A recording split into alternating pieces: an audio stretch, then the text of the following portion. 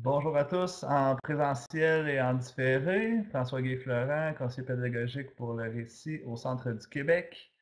J'ai le bonheur d'animer ce webinaire sur l'utilisation des technologies dans les évaluations des programmes d'études de chimie et de physique, en collaboration avec Doris Saint-Amand, euh, responsable des programmes sciences et technologies, chimie, physique, biologie, au ministère de l'Éducation et de l'Enseignement supérieur. Donc, je te cède la parole. Oui, alors euh, bonjour à tous euh, en direct et en différé. Alors aujourd'hui, on veut vous présenter un, webinaire concernant donc l'utilisation des technologies dans les évaluations, les programmes d'études chimie et physique. Alors, ce qu'on vous présente est destiné à l'utilisation par les enseignants et par les adultes qui voudront se familiariser avec les technologies euh, et l'utilisation du tableur plus spécifiquement. Alors, si on regarde ce qu'on a au menu euh, pour l'atelier. Alors, ce sera sous forme de questions, cinq questions. On, va d'abord regarder qu'est-ce qui sous-tend la décision d'utiliser des technologies dans les évaluations des programmes d'études chimie et physique. Quel équipement sera nécessaire? Qu'est-ce qu'on doit considérer dans l'organisation scolaire? Comment le personnel enseignant pourra être perfectionné et comment les adultes seront formés? Alors, pour débuter, euh, qu'est-ce qui, sous-tend cette décision-là d'utiliser des technologies dans les évaluations des programmes d'études de chimie et physique? comme on sait, euh, les adultes qui euh, suivent les cours de chimie et de physique se destinent bien souvent à des études collégiales où ils vont s'inscrire dans des programmes à caractère scientifique. Donc, tous ces programmes-là, euh, on, utilisera, euh, euh, on va sûrement utiliser des technologies à l'intérieur de ces programmes-là. Mais pas seulement à l'intérieur de ces programmes-là, mais dans tous les programmes d'études, de toute façon, au, collégial, il y a une compétence qui porte sur la communication et qui précise que l'élève doit s'appuyer sur une variété de stratégies de communication et utilise des technologies de l'information. Donc, euh, l'utilisation des technologies de l'information, c'est une tous les programmes euh, collégiaux et spécifiquement, euh, si on pense à nos programmes à caractère scientifique, alors doublement, ce sera doublement nécessaire pour eux. Bon an, il y a à peu près une trentaine de programmes au collégial qui euh, demandent euh, la chimie ou la physique comme condition particulière d'admission. Quel autre facteur nous a amené à, utiliser les technologies dans les évaluations? Euh, c'était l'importance de cibler un moment dans le parcours de l'adulte pour l'outiller. Alors, ce qu'on voulait faire, c'était euh, un point d'arrêt euh, à un moment donné dans la formation de l'adulte qui se dirige vers le collégial pour l'outiller de ce côté-là, l'outiller avec l'utilisation des technologies. Alors, on a ciblé des cours, les programmes de cinquième secondaire. Donc, on avait le choix entre la chimie, la physique et la biologie on a euh, choisi chimie et physique et on a euh, choisi des cours où euh, c'était possible de recueillir plusieurs données et donc la chimie physique s'y prêtait bien. Et on voulait, dans les cours de chimie et physique, cibler aussi le même niveau. Alors, soit le premier cours dans les deux programmes ou le deuxième cours dans les deux programmes. Ce qui a été retenu, c'est le premier cours dans les deux programmes. Donc, chimie 50-61 et physique 50-61. Autre, euh, autre argument qui euh, sous-tend cette décision-là, euh, on voyait que dans nos DDE qui sont publiés depuis décembre 2015, il y a déjà la possibilité d'utiliser l'ordinateur qui est prévu dans les DDE. Donc, sans avoir besoin de changer quoi que ce soit euh, dans les euh, définitions du domaine d'évaluation, on pouvait, euh, tel quel, utiliser donc cette, cette ouverture qu'on avait dans les DDE. Et on a décidé de cibler la partie pratique. pour quelle raison? Pour, je vous dirais, pour une question aussi stratégique que cette gestion-là du recueil des données euh, se fait de façon plus euh, euh, régulière et peut-être simple aussi si c'était géré au laboratoire par l'enseignant ou par le technicien en travaux pratiques plutôt que dans une, une salle d'examen où là, ce serait la partie théorique qui, qui aurait contenu donc l'utilisation de, de tableurs. Alors, on a préféré cibler la partie pratique. Maintenant, euh, le ministère a euh, préparé des prototypes d'épreuves pour les programmes d'études chimie et physique. Et euh, vous allez voir à l'intérieur de ces épreuves-là, à trois endroits où on spécifie que le tableur doit être utilisé. Alors, le premier endroit, c'est dans le cahier de l'adulte. Quand il arrive à la tâche 2, on lui dit spécifiquement qu'il doit produire un tableau à l'aide d'un tableur pour pouvoir tracer un graphique. Donc, l'adulte le sait euh, pendant qu'il fait la tâche 2 qu'il doit utiliser un tableur. Le tableur, euh, l'ordinateur est déjà prévu dans sa liste de matériel.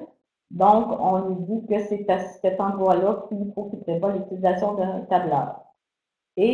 Toujours dans le cahier de l'adulte, mais un petit peu plus loin dans le gabarit de rapport de laboratoire, dans la section tableau de données et graphiques. On lui dit aussi place ici le tableau de données et le graphique produit à l'aide du tableur. Donc, à deux endroits, euh, dans le cahier de l'adulte, on lui dit à quel endroit utiliser le tableur. Et dans la liste de matériel, comme je vous disais, euh, on spécifie qu'il doit y avoir un ordinateur muni de logiciel tableur. Alors, ce qu'on doit comprendre, c'est que dans le prototype que le ministère a rédigé, le tableur est clairement euh, est, présent. C'est clairement dit qu'il doit être utilisé. Maintenant, on sait que on sait que la rédaction des épreuves des programmes d'études chimie physique, c'est de responsabilité locale.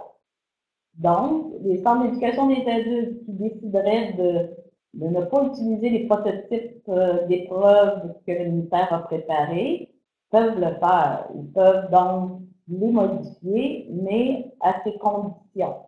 Il faut que les centres s'assurent que la DDE et que la politique d'évaluation des apprentissages sont respectées si on fait des changements. On doit mentionner sur la page couverture que l'épreuve, c'est une version modifiée par la commission scolaire euh, impliquée du prototype ministériel. On enlève ensuite le logo du ministère et on appose celui de l'établissement. Donc, oui, c'est possible de modifier euh, les prototypes d'épreuves que le ministère a préparés. C'est possible de soustraire l'utilisation du tableur, mais encore une fois, faut se soucier que ça respecte la DDE et que ça respecte la politique d'évaluation avec euh, toutes les, les, euh, les, valeurs qui sont véhiculées à l'intérieur de la politique. Pour la suite, je cède la parole à François. Euh, quel équipement sera nécessaire? Euh, c'est sûr que l'idéal, c'est un ordinateur probablement portable euh, qui est non relié au réseau Internet. il peut être connecté au réseau local, mais sans Internet, donc semblable à ce que plusieurs centres ont présentement dans les salles d'évaluation. Donc, je dirais que c'est la façon la plus simple d'assurer la confidentialité des épreuves. Euh, une tablette, c'est possible également.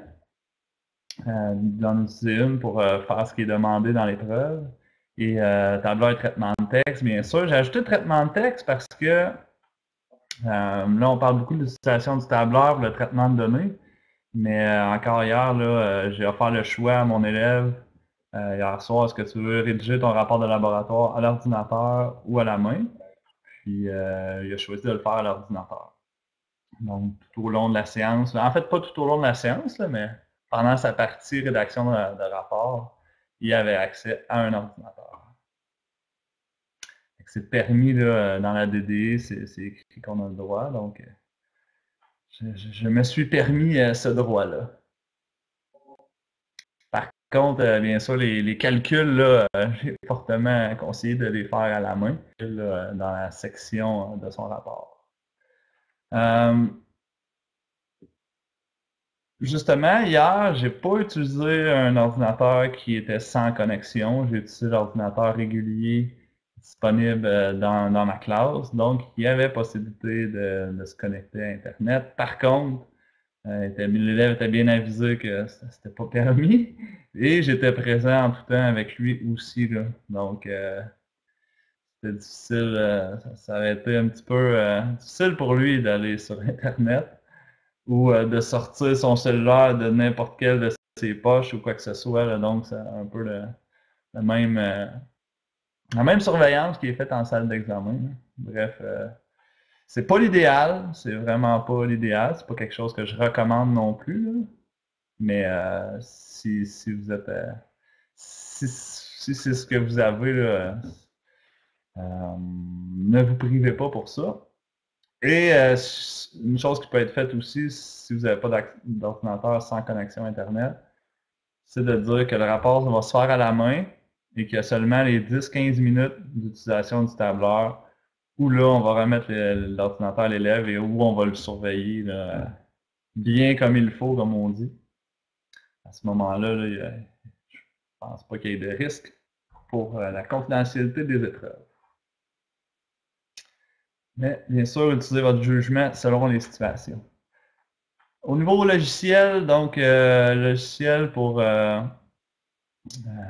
pour euh, tracer un graphique, on a Microsoft, Apple, soit Excel ou Numbers. Dans le logiciel libre, il y a aussi LibreOffice, OpenOffice qui font ça. Et toujours dans le logiciel libre, avec GeoGebra également, c'est possible. Donc, si dans votre école, dans votre centre, dès le secondaire 3, mathématiques par exemple, sont beaucoup habitués à avec GeoGebra, vous pouvez poursuivre aussi en chimie avec traçage d'un graphique, la représentation graphique de données issues de l'expérience. Les, euh, liens sont cliquables dans le document qui est téléchargeable, donc dans la route d'entrée, fichier à télécharger. Euh, quand c'est en bleu, ça vous mène vers les, différents logiciels que, vous connaissez sans doute déjà.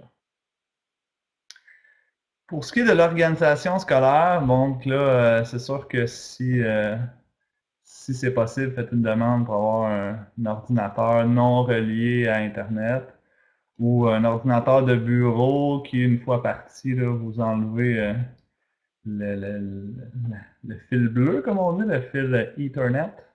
Donc, euh, euh, ça vous évite qu'il y ait des... Ça, rend les communications impossibles. si jamais pour X raison, vous ne pouvez pas faire imprimer le rapport de laboratoire ou simplement le graphique. Donc, l'élève, euh, l'adulte va, va interpréter son graphique en l'ayant à l'écran euh, et va rédiger son rapport de laboratoire, mais il n'est pas capable de le faire imprimer pour X raisons, mais c'est sûr que c'est toujours possible de le mettre sur une clé USB puis que l'enseignant, par la suite, dans son bureau, euh, l'imprime. Euh, donc, il peut avoir des clés USB munies d'un mot de passe ou euh, sorte d'autres façons de, transporter sécuritairement euh, le fichier. C'est vraiment pas l'idéal, mais ça, peut se faire. Les tablettes, c'est un petit peu la même chose. Consultez votre service informatique si vous voulez avoir des moyens de restreindre l'accès Internet sur une tablette, mais tout en ayant la possibilité d'imprimer. C'est faisable. Donc, euh, pour ce qui est du perfectionnement maintenant, euh, c'est quelque chose d'assez euh, essentiel. pour le personnel enseignant, quoique pour les, les, adultes aussi, là, mais on a préparé 24 défis qu'on va vous présenter tout à l'heure, ça peut être une, euh, façon intéressante et motivante de, de s'approprier ou de se réapproprier un logiciel tableur. Euh, vous avez aussi des, certains collègues dans votre centre, que, peu importe euh, les enseignants de mathématiques ou d'informatique ou autres, qui sont à l'aise avec euh, un logiciel tableur qui peuvent vous aider. Vous avez bien sûr vos ressources régionales, dont moi et Stéphane Lavoie ici présents, qui peuvent vous supporter là-dedans. C'est vraiment notre rôle de le faire, donc n'hésitez pas de faire appel à eux. Et ce webinaire-ci qui sera disponible aussi, bien sûr, des tutoriels en ligne, euh, notre collègue de l'Outaouais, Richard Pinchot, a fait un site web aussi où tout ce matériel-là est, euh, est, en ligne et disponible. Donc, c'est différentes façons de se former et on va aller voir les 24 défis dans, quelques instants. Pour ce qui est des adultes, ben, c'est un petit peu le même principe. Il y a différents choix, soit que l'enseignant va carrément l'enseigner à l'adulte, il peut procéder euh, avec l'enseignement explicite, peu importe. Il peut utiliser les, fichiers des 24 défis. Il y a aussi des tutoriels vidéo qui accompagnent ces 24 défis-là, où on voit quelqu'un réaliser ces défis. Euh, ça peut être sous forme de capsule en petits groupes, ça peut être euh, sous forme de service d'entrée en formation aussi, où on ajoute l'utilisation d'un tableur qui peut être utile en chimie physique, mathématiques ou autre différentes idées. Donc, on arrive à une portion du webinaire où on va inviter les participants à naviguer dans nos défis, euh, dans nos différents euh, fichiers qu'on a préparés pour vous, qui sont disponibles soit sur le site web, euh, le site web de Richard Pinchot, et euh, nous avons placé les défis là et également les tutoriels vidéo. Donc tout est centralisé là. Et ça sera aussi disponible prochainement sur le site d'accompagnement du Carrefour FGA. Je pense que ça l'est déjà, hein, Doris? Oui, c'est déjà sur le site du Carrefour. Euh, donc, si jamais. Ça sera aussi disponible sur le blog des après-cours. Donc, peu importe il y a plusieurs façons d'accéder à ces fichiers-là. Et euh, Google, une petite recherche dans l'aide d'un moteur de recherche va vous, amener vers ça. J'ai dit défi avancé, hein, mais je voulais dire débutant. Je me suis trompé dans ma formulation. Donc, soit si vous téléchargez le fichier, le tutoriel vidéo, où chacun des défis réalisés un après l'autre est accessible avec le lien ici ou le code QR si jamais vous avez un appareil mobile. La façon que les défis sont présentés, vous avez les défis ici à gauche. Vous avez des indices qui sont vraiment un résumé de où trouver, là, comment accéder ou comment réaliser chacun des défis. Si jamais vous avez besoin d'un petit peu plus d'indices, vous avez les étapes complètes euh, qui détaillent là, vraiment où cliquer, quoi faire pour réaliser le défi. Euh, des fois, en mots, c'est pas euh, pas tout le temps clair. On aime ça avoir une image. C'est pour ça que les, le tutoriel vidéo a été créé. Je pense que ça pourrait être intéressant qu'on ouvre le, fichier Excel qu'on voit, qu'on voit les, les données. OK, alors ce qui a été fait, c'est qu'il y a un fichier Excel qui a été ouvert avec une série de données. Et avec ces données-là, il y a 24 défis qui ont été, euh, qui ont été montés. Donc, il y a 7 défis niveau débutant, 7 autres défis intermédiaires et les derniers avancés. Alors, euh, ce qu'on cible, c'est qu'un adulte soit capable de se rendre jusqu'au niveau intermédiaire. S'il maîtrise donc les 15 premiers défis, il va être en mesure de, de, répondre aux exigences de l'évaluation. L'enseignant, lui, il peut, euh, ça prend un minimum, oui, c'est sûr, du, niveau intermédiaire, mais il peut toujours là, poursuivre et se rendre au niveau avancé euh, pour se perfectionner.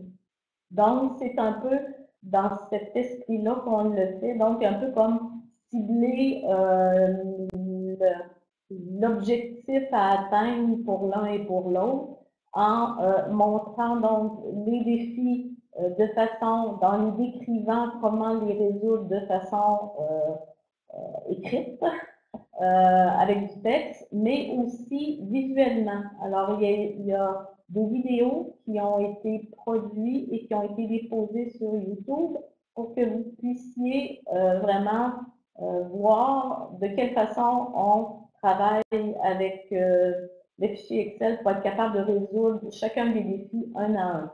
Donc, à la fois du texte et à la fois du visuel, on devrait de cette façon-là rejoindre, rejoindre tout le monde. C'est un peu l'esprit qu'il y avait derrière ça.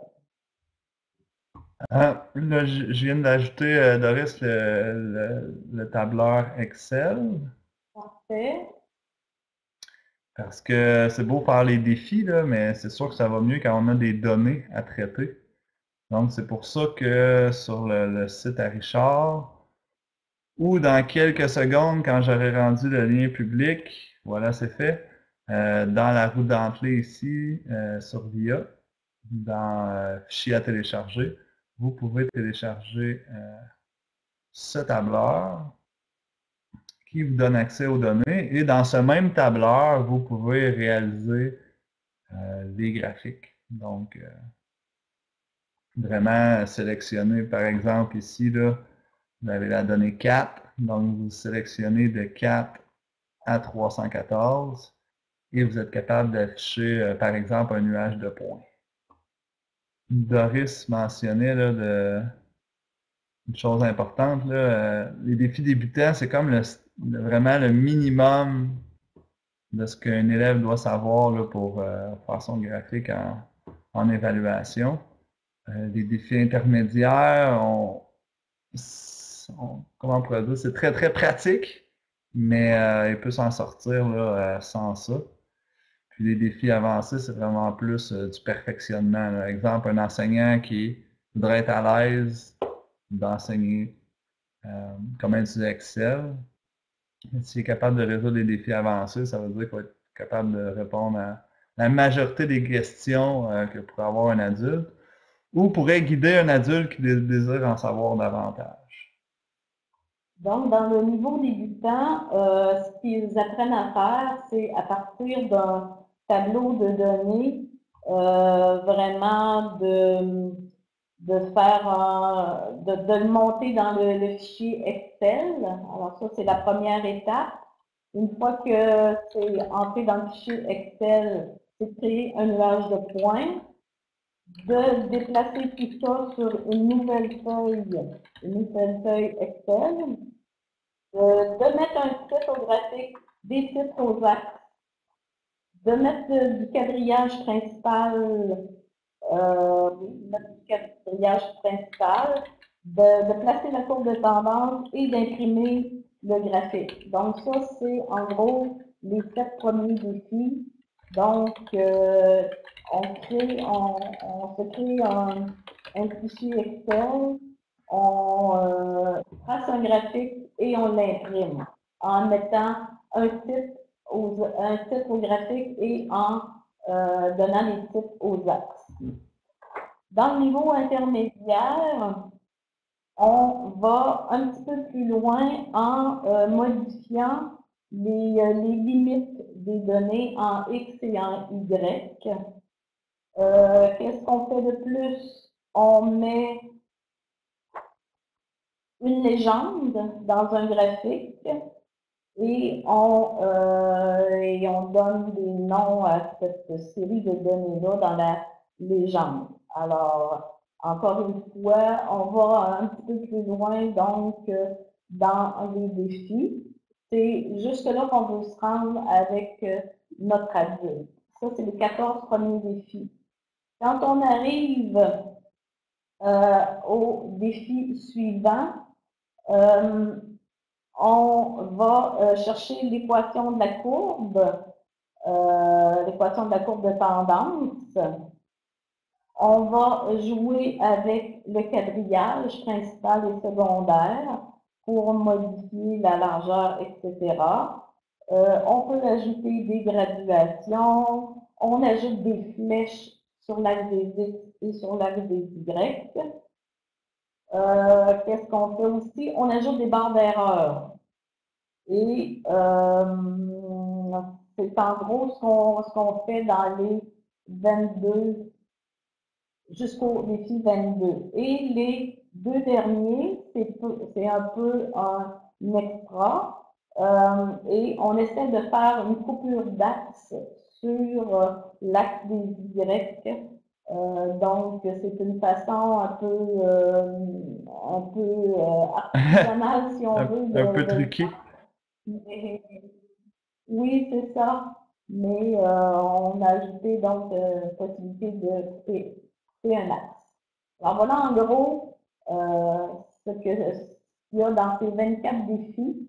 Euh, donc, on, encourage fortement les enseignants, bien sûr, à les réaliser et à euh, inviter euh, les, adultes à faire de même pour qu'ils puissent se préparer donc à ce qui les attend en évaluation. Alors, on disait que tous ces documents-là se trouvent à trois endroits, en fait, sur le site d'accompagnement du Carrefour LGA en sciences et technologies, l'onglet chimie et physique. Ça se trouve aussi euh, sur le site de l'AQILGA, l'atelier qui a été présenté par euh, François et moi. Et ça se trouve aussi sur le site euh, de M. Pinchot. donc, trois endroits où vous pouvez, où vous pouvez vous procurer ces documents-là. Donc, ça vous prend deux choses, ça vous prend les tableaux euh, dans, Excel avec euh, un tableur, bien entendu, et la liste des défis. Euh, dans, les, dans ces documents-là, vous allez avoir aussi le résultat des, des défis. Donc, je vous disais tout à l'heure que sur YouTube, il y a euh, un enregistrement pour voir de quelle façon on prend pour solutionner chacun des défis. Mais on peut l'avoir aussi euh, dans une version euh, dans le fichier Excel, on voit les réponses aussi. Donc, si, si vous, utilisez, par exemple, si jamais l'élève veut illustrer graphiquement ces données dans l'examen CHI 5062 version B, euh, il pourrait faire une. pourrait afficher finalement ces données. Euh, il y aurait une série de données ou plusieurs. Euh, ça, ça pourrait être un autre exemple d'évaluation où là, on a à comparer certaines choses. Euh, c'est pas des données issues d'examen, ça, là, c'est des exemples. Ici, on a le résultat avec les barres d'erreur, barres d'erreur qui sont juste ici, qu'on voit qu'en en Y, ça grandit à mesure que nos valeurs augmentent. On a, affiché l'équation alors que le traitement reste surtout qualitatif. Donc, on ne s'attend pas du tout à ce que l'élève nous donne l'équation. Ça ne lui resservira pas beaucoup, mais euh, c'est quand même quelque chose qui pourrait être intéressant à afficher. Et finalement, un exemple de coupure d'axe. Vous allez voir en bas à gauche, une légère coupure d'axe. Donc, au lieu de commencer à 0, euh, dans ce cas-ci, on commence à 90. Euh, François, Donc, si on veut, je ne sais pas si euh, c'est quelque chose de possible que je te propose. Est-ce qu'on pourrait visionner un, des, une des vidéos? Euh, ça peut être même la, première sur les premiers défis pour que les gens euh, aient un peu un aperçu de, ce que c'est. Alors, c'est des, petites vidéos de, je pense, c'est pas 4-5 minutes euh, dans le plus long.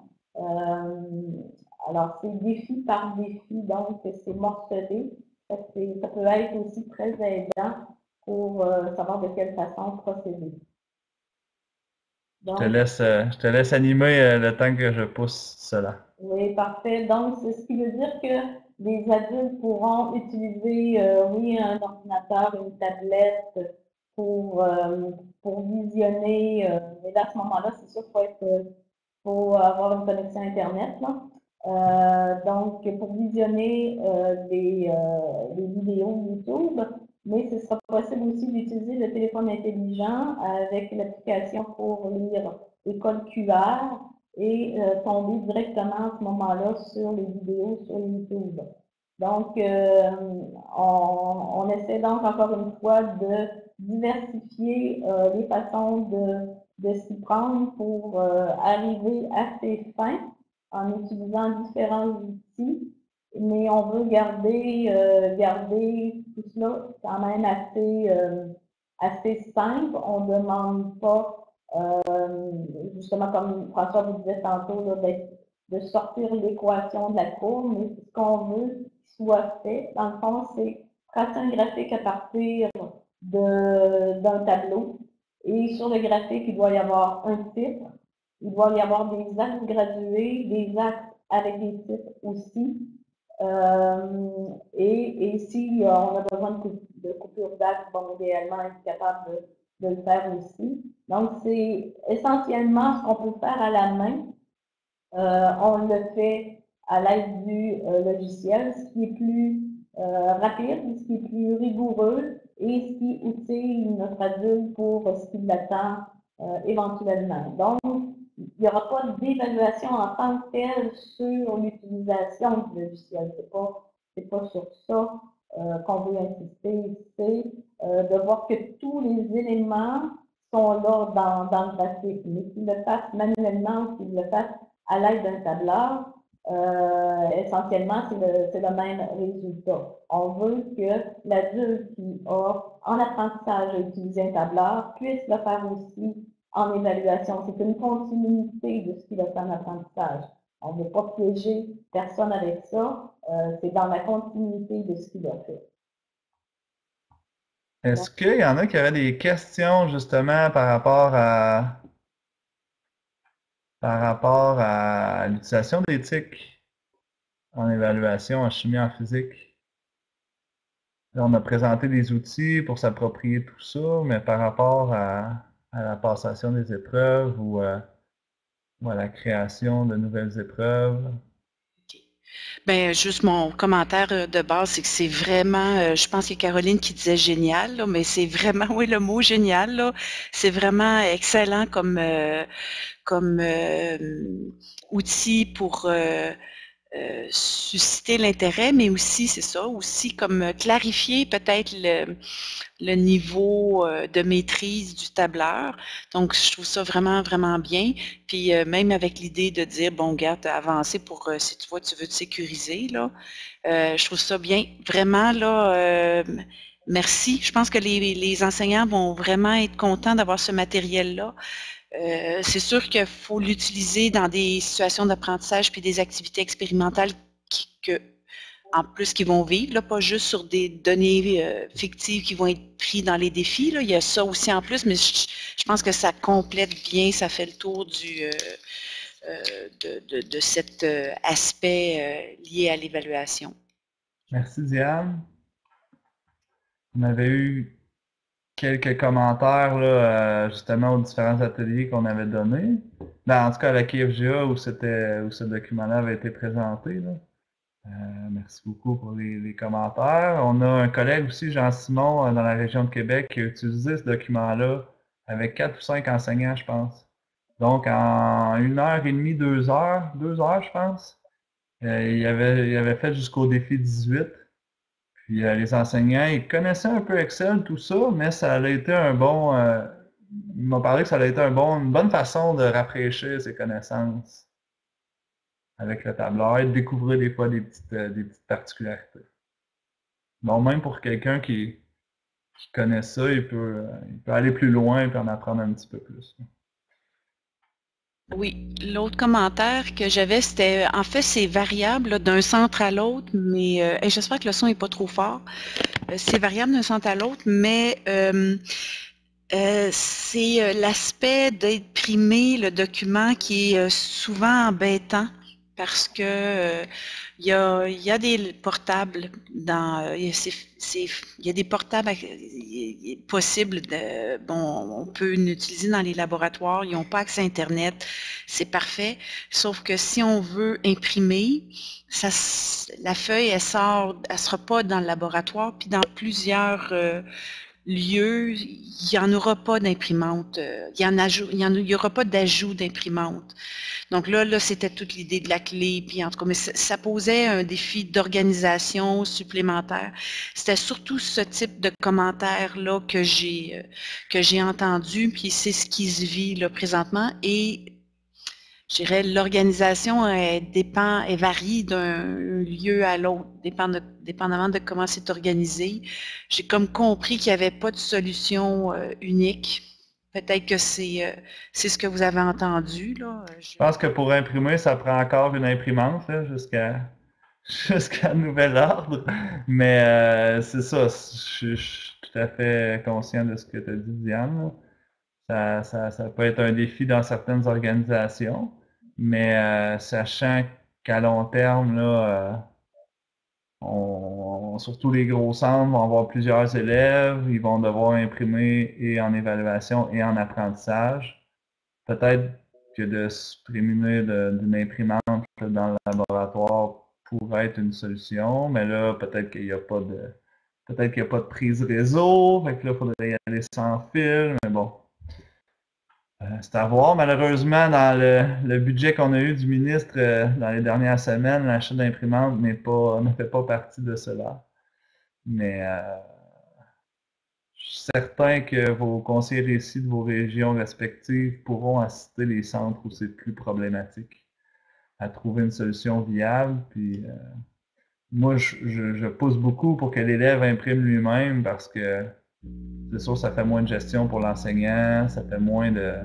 Une fois qu'il est imprimé, on n'a plus besoin d'ordinateur ou en tout cas, on n'a plus besoin de logiciel tableur. Donc, l'élève peut, euh, peut analyser avec ce qu'il a imprimé. Mais euh, sinon, il peut toujours rester sur l'ordinateur, puis euh, l'élève peut quand même analyser et rédiger ses, ses, résultats, sa discussion à partir de ce qu'il voit à l'écran. C'est faisable. D'après moi, c'est faisable de trouver des, des façons de faire. Je sais pas, Doris, si tu avais des, des, commentaires par rapport à ça. Euh, ben, c'est un petit peu, ce que je voulais dire, c'est un petit peu ce que tu disais euh, à la fin. Là, si on pense à, ben là, c'est sûr, je pense à l'évaluation, là, euh, entre autres. Euh, je pense que l'analyse graphique peut se faire à partir de, de l'écran. Donc, l'adulte peut compléter son, son analyse dans son cahier d'adulte à partir du graphique qu'il voit à l'écran. Et c'est par la suite que l'enseignant pourra euh, l'imprimer une fois que l'épreuve sera faite, qui sera à l'extérieur du laboratoire. C'est un peu une solution, euh, une solution euh, de, qui, pourrait, qui pourrait satisfaire aussi. Là. Euh, mais ça ne règle pas le cas si on veut en apprentissage euh, imprimé, on a, on a, le même problème. Alors, euh, mais je pense qu'il y, a des, il y a des ressources qui, qui peuvent, qui peuvent suggérer euh, euh, selon les conditions de chacun des centres. Là, euh, à, à, à, faire. Hein. Mm. Euh, juste avant d'aller prendre la question de Caroline, j'aurais le goût de passer la parole à mon collègue Stéphane Lavoie. Euh, Stéphane, je ne sais pas, tu as peut-être vu, euh, vécu ou entendu différentes situations dans ta région ou tu aurais peut-être des, idées à conseiller à, Diane? Je te laisse le micro. Pas vraiment de, suggestions, non. Euh, je serais porté à dire, moi, je, je milite pour un centre sans papier. Alors, pourquoi imprimer? On peut sans doute garder des traces numériques puis les placer à des endroits où on peut les, conserver pour les besoins d'évaluation sans avoir imprimé. Mais je sais que c'est une situation idéale puis que beaucoup de personnes qui ne sont pas encore rendues là. Sinon, euh, possibilité de l'imprimer sur une clé, puis ensuite de ça aller à l'imprimante avec la clé pour faire l'impression. Il y a quelques trucs comme ça qu'on peut prendre si on tient absolument à faire de l'impression. Merci Stéphane. Euh, Stéphane parlait d'un endroit sécurisé. Là. Je pense que la commission scolaire de Laval procède ainsi. Ils ont un espace réseau sécurisé à l'interne pour, euh, pour placer un document, je ne sais pas si c'est temporairement ou euh, parce que le, graphique n'est pas. Euh, on demande le graphique dans le rapport de laboratoire, mais si dans la. Si une fois que la note est envoyée, puis on place dans la voûte le rapport papier, puis le graphique est ailleurs dans un endroit euh, hyper sécurisé, mais ça peut être aussi une option qui n'est pas nécessairement plus facile pour les centres dont on parle, qui n'ont pas nécessairement les ressources ou quoi que ce soit. Alors, euh, ben, en fait, j'allais dire exactement ce que Stéphane vient de dire. Je pense que ben, c'est sûr que ça dépend des centres, mais je pense que l'idéal, ce serait vraiment que ça soit stocké directement sur l'ordi et qu'à ce moment-là, il n'y ait pas de problème d'imprimante. Ça, ça serait vraiment une belle situation que ce soit euh, effectivement euh, mis dans un réseau euh, sécurisé. À ce moment-là, ben, on a l'information, mais on n'a pas besoin de courir après l'imprimante. Deuxième chose, je me suis demandé qu'est-ce qui se passe. Je ne sais pas comment les centres sont organisés, mais si on a plusieurs élèves en même temps, je ne sais pas si ça peut arriver d'avoir deux, trois élèves qui font l'examen. Est-ce qu'il est y a assez de, d'ordinateur dans un local pour que chacun puisse faire euh, son tableur à l'écran et peut-être l'analyser à l'écran? Ou euh, je, gère? Non, effectivement, c'est une problématique qui, qui vivent euh, au secteur anglophone où ils ont 30 élèves qui font l'examen en même temps ou 16 élèves. Donc, eux, il faudra falloir qu'ils regardent à des solutions, là, avoir plusieurs surveillants d'examen, entre guillemets, puis euh, l'élève, une fois qu'il a fait ses manipulations, il traverse peut-être dans le local voisin, euh, euh, faire son tableur, son faire son graphique, puis ensuite, il, revenir en tout temps là, si jamais il a besoin de, refaire des manipulations. Donc, par exemple, moi, hier soir, mon élève, moi, mon laboratoire est attenant à ma salle de classe. Donc, mon laboratoire est tout petit, il n'y a pas de fenêtre, là, c'est pas, ça ne sent pas nécessairement bon. Donc, euh, je pense qu'on a été 30 minutes sur 3 heures dans ce local-là. Euh, une fois que les manipulations étaient faites. Si jamais il avait voulu retourner, tout était là. Euh, sa vaisselle n'était pas lavée encore. Mais bref, différentes façons de, de faire selon notre organisation, nos ordinateurs disponibles. Certain que le souci majeur, c'est la sécurité, parce qu'on est en chimie, entre autres, et aussi la confidentialité des épreuves. Ça, c'est à chaque milieu à, faire respecter ça. Mais il y a vraiment, vraiment toutes sortes de, possibilités. mais c'est sûr que plus on a plus on a d'élèves en même temps, plus ça devient euh, de la gymnastique. Mais à moins d'être un ex... à d'être un très gros centre, je pense pas que ça arrive tant que ça. D'avoir plusieurs examens de chimie en même temps qui nécessitent l'utilisation du tableau. Excusez-moi, je voulais juste savoir, est-ce que vous, vous qui avez fait la formation euh, au congrès, tout ça, est-ce que vous avez l'impression que la plupart des enseignants connaissent bien ce, site et, ses défis et tout ça, ou on a vraiment un, travail de diffusion de l'information? Euh, ben, si je peux me permettre, je pense que euh, ça n'est pas connu, ces documents-là ne sont pas connus et effectivement, il y aurait un travail de communication, de diffusion euh, à faire. Euh, parce que, ben, parce qu'en au niveau du, euh, du site d'accompagnement du Carrefour FGA, c'est pas très fréquenté.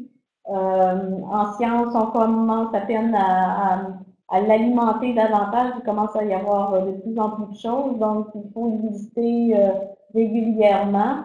Euh, mais peu de gens euh, le connaissent. Le site à M. Pinchot, euh, je pense qu'il faut savoir aussi qu'il existe et que c'est par le récit que qu'on y a accès ou en tout cas qu'on peut avoir euh, de ces nouvelles-là. Euh, est-ce que les gens vont penser aller sur le site de la QILGA? Pas nécessairement non plus. Donc, oui, ces documents-là existent, mais ils sont peut-être pas accessibles à tous facilement parce qu'ils sont à, des endroits qui sont peut-être pas euh, très fréquentés ou très connus.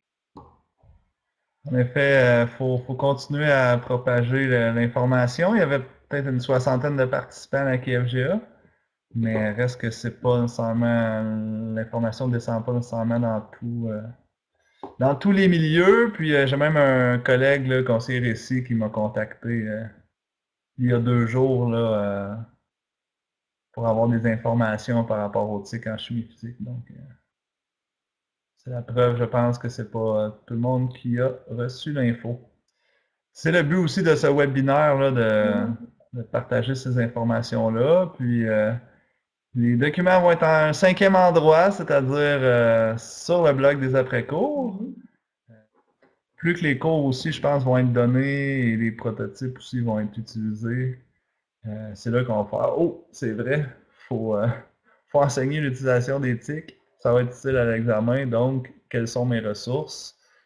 Et euh, c'est là que les CP ou les conseillers, peu importe, peuvent diriger les enseignants vers les ressources. Alors, je remercie tout le monde et puis ben, n'hésitez pas à communiquer avec nous et à donner nous vos commentaires sur euh, l'utilisation de, de, ces documents, comment ça fonctionne. Alors, euh, merci à tous.